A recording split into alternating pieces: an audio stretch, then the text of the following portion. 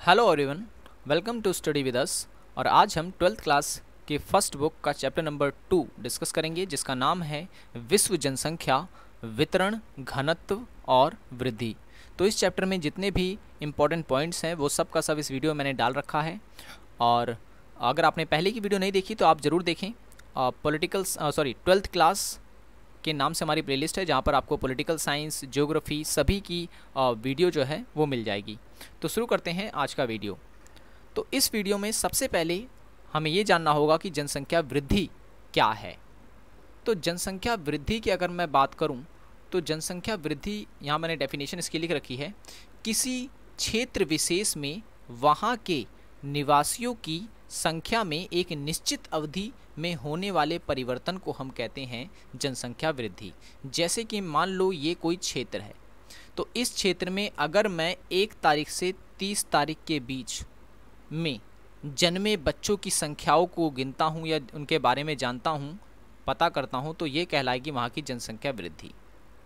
कि किसी निश्चित समय में किसी निश्चित स्थान पर हुए जनसंख्या संबंधी परिवर्तन को जनसंख्या वृद्धि कहते हैं। हमारे भारत में क्या है कि प्रत्येक 10 वर्ष के पश्चात जनसंख्या की गणना की जाती है और ये निर्धारित किया जाता है कि भारत की जनसंख्या किस तरीके से बढ़ रही है और 10 वर्ष में इसमें कितना परिवर्तन आ रहा है। तो इसे हम जनसंख्या वृद्धि कहते हैं। खैर, जनसंख्या जो होती है, वो या तो उसकी प्राकृतिक वृद्धि होती है, यानी कि प्राकृतिक वृद्धि में आ जाता है जन्म दर, यानी अगर किसी क्षेत्र की जनसंख्या बढ़ रही है तो इसका मतलब ये हुआ कि वहाँ पर जन्म दर जो है, वो अधिक हो रहा है। और दूसरा जो जनसंख्या बढ़ती है, वो बढ़ती है प्रवास के कारण। अब प्रवास क्या होता है? प्रवास का मतलब होता है एक स्थान से दूसरे स्थान पर जब हम जाते हैं तो उसे हम कहते हैं प्रवास। तो अब मान लो इस स्थान से कोई व्यक्ति इस स्थान पे गया तो इसका मतलब ये हुआ कि पहले वाले स्थान से जनसंख्या जो है, वो कम हुई है और नए स्थान पर जनसंख्या वृद्धि हुई है। तो जनसंख्या जो होती है, वो दो तरीके से बढ़ती है। मैंने बता दिया, प्राकृतिक वृद्धि यानी जन्म दर से, दूसरा प्रवास से। और जन्म दर और मृत्यु दर के अंतर को प्राकृतिक वृद्धि कहते हैं, या फिर प्राकृतिक हर्ष कहा जाता है। ये चीज़ भी आपको याद रखना है। तो अगर आपसे पूछे, जनसंख्या के तत्व क्या क्या हैं? तो जनसंख्या जो होती है, वो तीन चीज़ों पर आधारित होती है। जन्म दर दूसरा मृत्यु दर और तीसरा प्रवास। तो ये कहलाते हैं जनसंख्या के तत्व। ये चीज़ आपको याद रखना है। ओके तो जनसंख्या वृद्धि की डेफिनेशन मैंने बता दी। जनसंख्या वृद्धि कैसे होती है मैंने आपको बता दिया और जनसंख्या में परिवर्तन किन तत्वों के कारण होते हैं वो भी मैंने आपको बता दिया। ओके, आगे चलते हैं। जनसंख्या घनत्व क्या है? जनसंख्या घनत्व यहाँ मैंने डेफिनेशन दे रखी है कि प्रति इकाई क्षेत्र पर प्रति इकाई क्षेत्र पर निवास करने वाले व्यक्तियों की संख्या को जनसंख्या घनत्व कहते हैं। यानी कि एक कोई जगह है, इस जगह पे कितने लोग रहते हैं, ये इसका घनत्व कहलाएगा। तो इसे नापते कैसे हैं? मापा कैसे जाता है? ये मापा जाता है कुछ इस तरीके से। कुल जनसंख्या बटे में कुल क्षेत्रफल, यानी कि अगर मान लो किसी क्षेत्र की जनसंख्या दो करोड़ है और उसका क्षेत्रफल 50 किलोमीटर है। तो अब हम क्या करेंगे, इसको इससे जब भाग कर देंगे तो हमारा जनसंख्या घनत्व निकल जाता है। अगर मैं भारत की बताऊँ तो भारत में जनसंख्या घनत्व जो है, वो बिहार में सबसे अधिक है। अब जनसंख्या घनत्व अधिक होने का मतलब ये हुआ कि जगह कम है और रहने वाले लोग जो हैं, वो अधिक हैं। तो इसे हम कहते हैं जनसंख्या घनत्व का अधिक होना। बिहार में जो है, जनसंख्या घनत्व सबसे अधिक पाया जाता है। जहाँ पर जनसंख्या जो है वो अधिक है, रहने की जगह कम है। जबकि अगर हम बात करें कि जनसंख्या घनत्व कम है अगर हम बोलते हैं तो उसका मतलब ये हुआ जगह ज़्यादा है और रहने वाले लोग कम है। ऐसा कहाँ है? अरुणाचल प्रदेश, सिक्किम जैसे क्षेत्रों में ऐसा देखने को मिलता है कि यहाँ पर जो है जनसंख्या घनत्व जो है वो कम होता है। जगह जो है, यानी क्षेत्रफल जो है अधिक होता है, लेकिन रहने वाले लोगों की संख्या कम होती है। तो हम बोलते हैं कि यहाँ पर जनसंख्या घनत्व जो है वो कम है। तो ये चीज़ आपको याद रखनी है। अब जनसंख्या वितरण को कौन से कारण प्रभावित करते हैं? प्रभावित करते हैं का मतलब ये है कि कौन से ऐसे कारण हैं जिससे जनसंख्या इधर से उधर होती रहती है?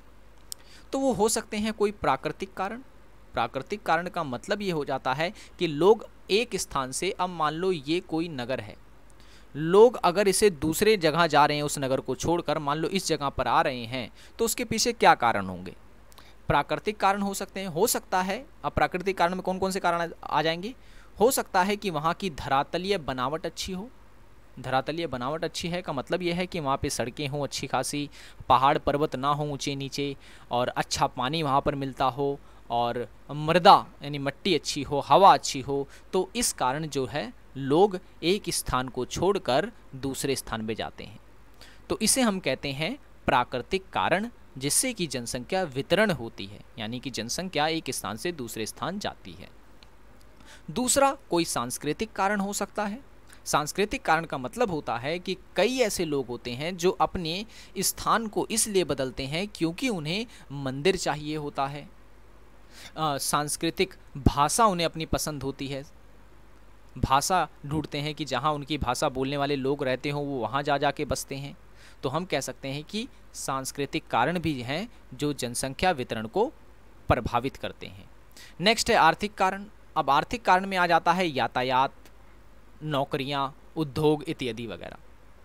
यानी कि अब एक देश से व्यक्ति अगर दूसरे देश में जा रहा है तो इसका मतलब ये है कि अगर आर्थिक कारण की हम बात करें तो वो अच्छा यातायात सुविधा चाहता होगा, नौकरियों के लिए जा रहा होगा, या फिर उद्योग धंधे, यानी कि फैक्ट्रियों वगैरह के लिए जा रहा होगा, ताकि उसे रोज़गार वगैरह मिल सके। तो इसे हम कहते हैं आर्थिक कारण, जिससे कि जनसंख्या वितरण हो रही है, यानी बट रही है। राजनीतिक कारण भी होते हैं जनसंख्या वितरण के, यानी कि एक स्थान से दूसरे स्थान अगर व्यक्ति जा रहे हैं जनसंख्या इधर से उधर हो रही है तो उसका राजनीतिक कारण भी हो सकता है। जैसे कि पहले जिस स्थान पर व्यक्ति रह रहा हो हो सकता हो वहाँ रोज़ लड़ाई झगड़े होते हों, युद्ध होता हो, या उस देश में गृह युद्ध चल रहा हो, ऐसी स्थिति होने पर भी जनसंख्या जो होती है, वो एक स्थान से दूसरे स्थान चली जाती है या वितरित हो जाती है। तो हम कहते हैं, ये ऐसे कारण हैं जो कि जनसंख्या को वितरित करते हैं या बांटते हैं, एक स्थान से दूसरे स्थान पर भेजते हैं, ऐसे कारक हैं ये। प्राकृतिक सांस्कृतिक आर्थिक और राजनीतिक। आपसे एग्ज़ाम में इनको इंडिविजुअल पूछ सकता है। आपसे पूछ सकता है कि प्राकृतिक कारण बताओ जनसंख्या वितरण की। तो आपको जल को फैलाना होगा मृदा को फैला के लिखना होगा और आ, मतलब धरातल बनावट को फैला के लिखना होगा। तो ऐसे क्वेश्चन भी एग्ज़ाम में आते हैं। आगे मैं वीडियो में इन सब पर डिस्कस करूँगा। अब जन्म दर और मृत्यु दर क्या होती है? इसमें क्या अंतर होता है? ये क्वेश्चन कई बार जो है एग्ज़ाम में पूछा गया है। तो मैं बता दूँ, एक वर्ष में जनसंख्या के प्रति एक हज़ार व्यक्तियों पर किसी देश में जन्मे जीवित बच्चों की संख्या को वहाँ की जन्म दर कहते हैं। यानी एक वर्ष में, एक वर्ष में, ये कोई सा भी ईयर ले लो, आप 2015 ले लो। अब 2015 से 2016 के बीच में जितने भी बच्चे जन्म लेंगे प्रति एक हज़ार परिवारों में या कहें कि एक हज़ार व्यक्तियों में तो उसे हम कहते हैं उसकी जन्म दर, उस देश की जन्म दर। अब जब जन्म दर की जानकारी किसी भी देश में अगर मिलती है तो इसका मतलब ये हुआ कि वहाँ की जनसंख्या वृद्धि जो है, वो हो रही है।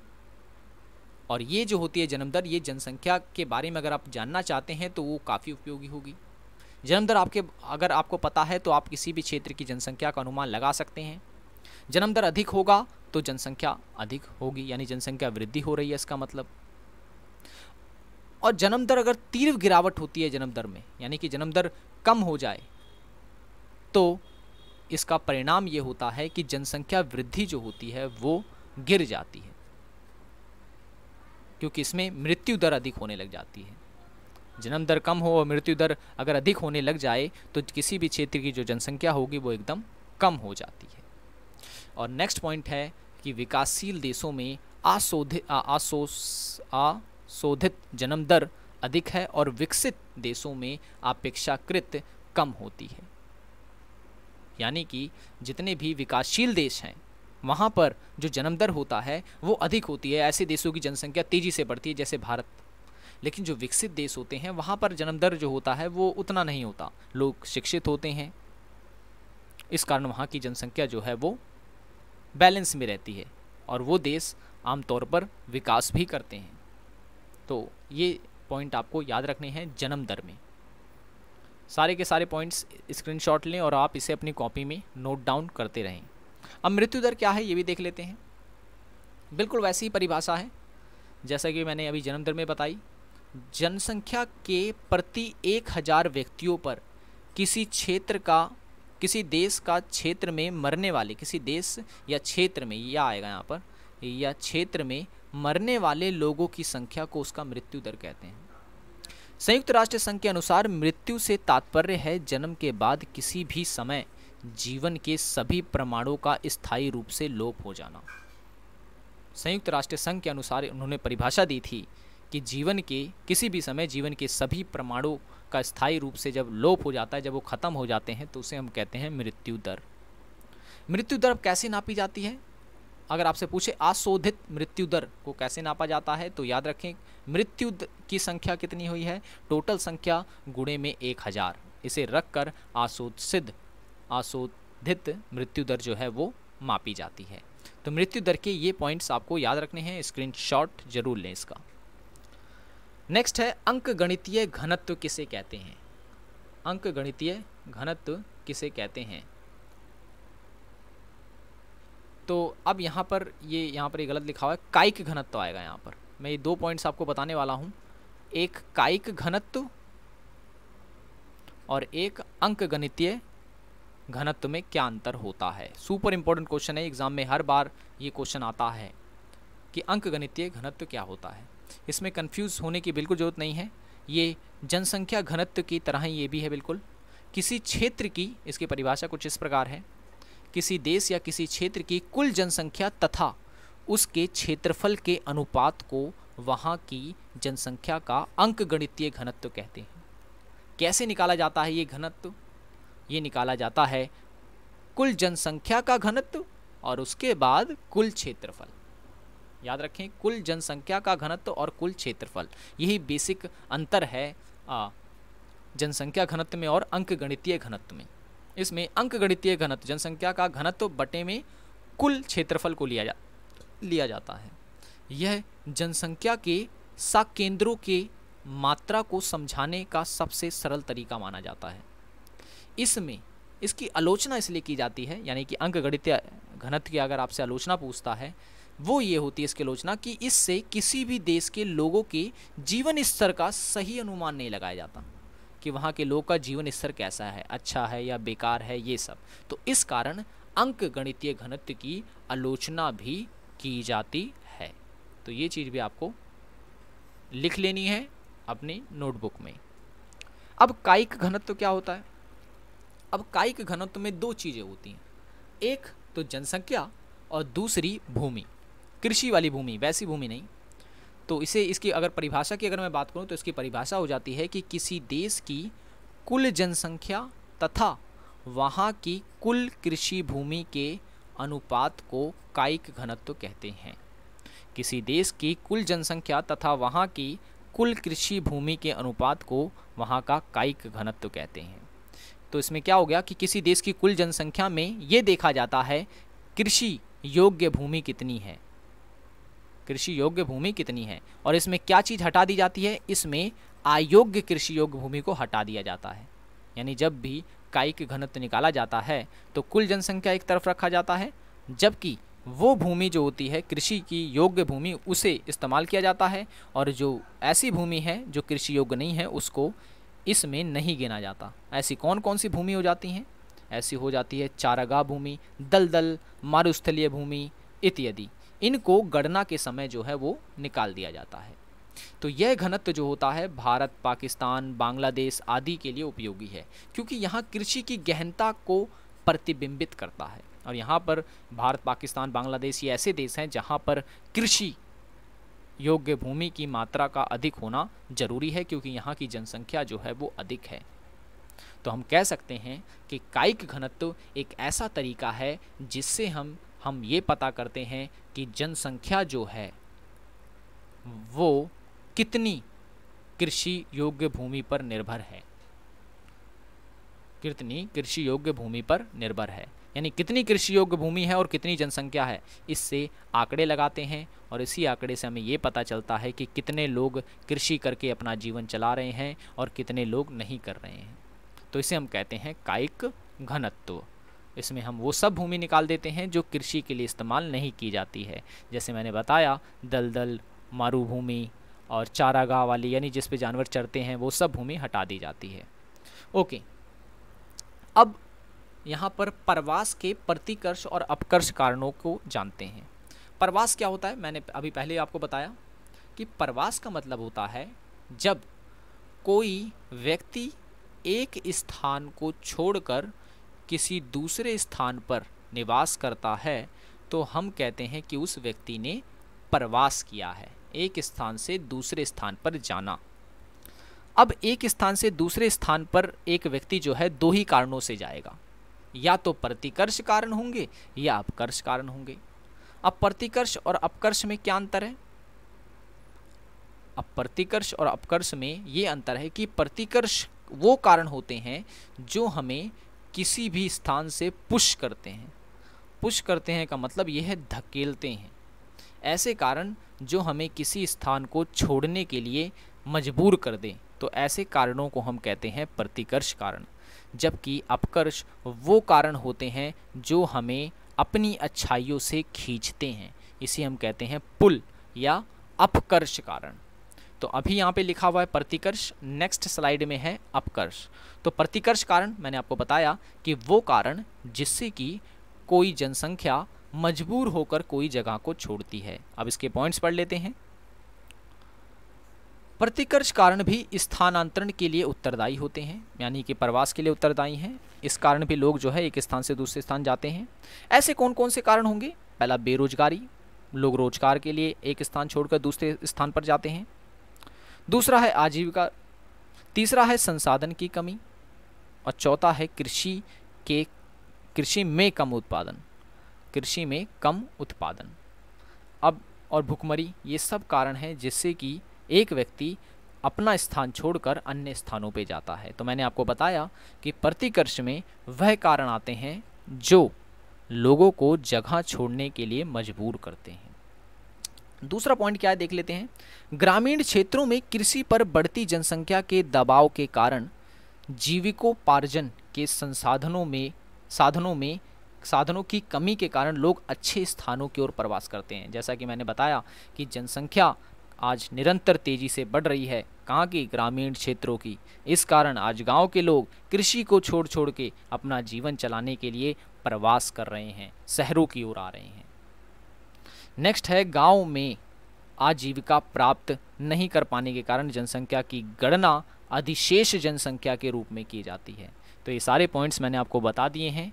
आपसे अगर क्वेश्चन पूछता है कि प्रवास के अपकर्ष कारण बताइए तो आपको बेरोजगारी, आजीविका, संसाधन की कमी, भुखमरी, इन सबको फैला कर लिखना होगा। तब जाकर के आपके आंसर जो है वो सही होगा और प्रतिकर्ष कारण का मतलब पहले आपको सपना समझाना होगा। जैसा कि मैंने बताया कि प्रतिकर्ष कारण वह कारण होते हैं जो किसी जनसंख्या को जगह छोड़ने के लिए मजबूर करते हैं। ओके, अब अपकर्ष कारण के बारे में जानते हैं। अपकर्ष कारण वह कारण होते हैं जो किसी भी जनसंख्या को अपनी ओर खींचते हैं। ऐसे कारण जिससे जनसंख्या खींची चली आती है, उसे हम कहते हैं अपकर्ष कारण। अब ऐसे कौन कौन से कारण हो सकते हैं? हो सकता है, पहला, स्वैच्छिक प्रवास। जब लोग नगरों की सुविधाओं, आजीविका के बेहतर संसाधनों से प्रेरित होकर प्रवास करते हैं तो उसे हम कहते हैं अपकर्ष प्रवास या अपकर्ष कारण। जब कोई जनसंख्या कुछ अच्छा देखकर के किसी स्थान की ओर जाती है तो उसे हम कहते हैं अपकर्ष कारण। वो सारे कारण जो हैं अपकर्ष कहलाएँगे। जैसे कि अच्छे आर्थिक अवसर, अच्छी नौकरियाँ जहाँ पे मिलती हो, शिक्षा जहाँ पर अच्छी होती हो, मनोरंजन के साधन जहाँ पर अच्छे हों, इस कारण लोग चुंबक की तरह वहाँ पर खींचे चले आते हैं। तो ऐसे कारणों को हम कहते हैं अपकर्ष कारण। और कौन कौन से कारण हो सकते हैं? वो हो सकते हैं नगरों में उद्योग का होना, परिवहन अच्छा संचार, व्यापार वाणिज्य यानी कि इत्यादि ये सारे के सारे वो कारण हैं जो अपकर्ष कारण कहे जाएँगे क्योंकि इसी से ही जनसंख्या जो है वो खींची चली आती है अपने पुराने स्थान को छोड़ करके। तो ये तो था हमारा वीडियो पार्ट वन। इसका पार्ट टू भी जो है वो आएगा क्योंकि पार्ट वन में अगर मैं डाल देता तो वीडियो इसका काफ़ी बड़ा हो जाता। ये चैप्टर थोड़ा सा बड़ा है। तो इस कारण इसका पार्ट टू जो है वो भी आपको कुछ ही देर में मिल जाएगा। सो so, अगर आपने पहले की वीडियो नहीं देखी तो आप उसे ज़रूर देखें। So thanks for watching this video